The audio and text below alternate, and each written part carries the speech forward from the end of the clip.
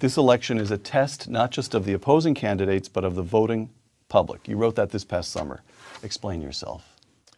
Well, it's not just a question of what the administration is doing. The question is the extent to which the public understands what they're doing, uh, not only on particular issues like medical care or things like that, but about the whole way the country is governed.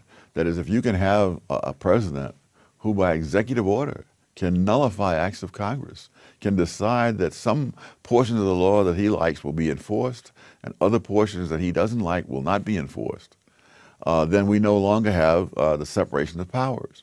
And we have the, the executive uh, acting as the overruling uh, power in the nation. You've also written, again this past summer, quote, if this, if this year's election is going to be decided on the basis of hard facts, the Obama administration is doomed. Yes.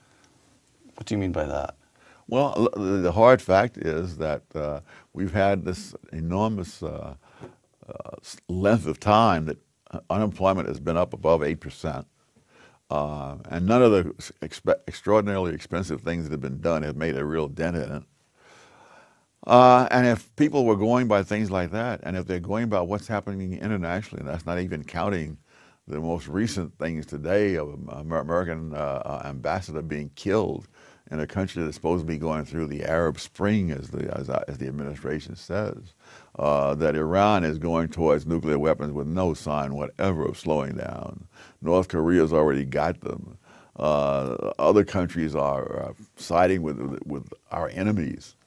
So, There's so no what, you're what you're saying is that this election, more than most, yes represents a test of the democratic experiment, whether we can govern ourselves. Absolutely. All right. And, and, if by some miracle we get through, we, we have the good sense to, to uh, remove this president, the question is, will we have learned a lesson, or will we turn off our common sense when there is the first woman president, uh, you know, the first Asian president, the first Latin president?